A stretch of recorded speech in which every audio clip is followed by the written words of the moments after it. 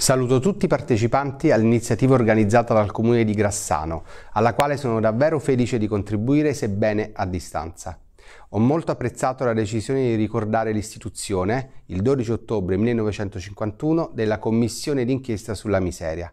Con quella scelta il Parlamento dimostrò, dopo il ventennio fascista e la devastazione della guerra, di considerare imprescindibile acquisire una base solida di conoscenza e valutazione delle effettive condizioni economiche e sociali della popolazione e dei territori affrontò l'impegno affermando un metodo di lavoro che è divenuto poi uno degli elementi essenziali della propria attività.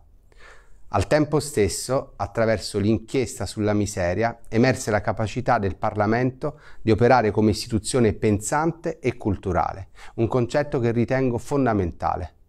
A dare consistenza all'impegno delle Camere si pose l'ampiezza stessa del mandato della legge istitutiva che fu espletato con un'articolata attività, combinando tutti gli strumenti e le procedure conoscitive a disposizione. Il vostro borgo di Grassano fu scelto, grazie all'iniziativa dell'onorevole Gaetano Ambrico, come paese campione per realizzare un'indagine speciale ai fini di una valutazione approfondita della situazione di una comunità rurale considerata nella sua struttura economico e sociale. Quest'opera poderosa richiese circa tre anni di attività e portò all'approvazione di una relazione generale condivisa all'unanimità da tutti i gruppi rappresentati nella Commissione, altro elemento di grandissimo significato storico e politico. La relazione offrì una base preziosa di conoscenza sulla povertà in tutte le sue drammatiche dimensioni, dal grave disagio abitativo alla mortalità infantile, e indusse una serie di interventi nel settore assistenziale.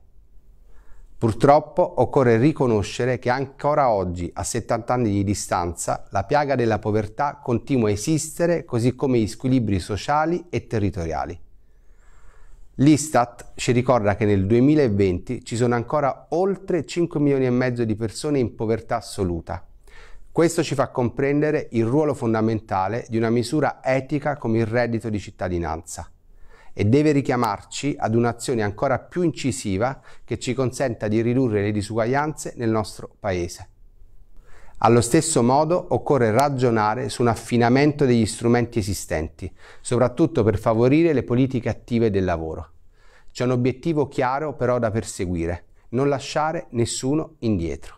Era questo il proposito che ispirò 70 anni fa l'azione del Parlamento ed è questa ancora oggi la sfida che non solo il Mezzogiorno ma tutto il Paese deve portare a termine con successo ed il Parlamento è e sarà sempre in prima linea in questa direzione.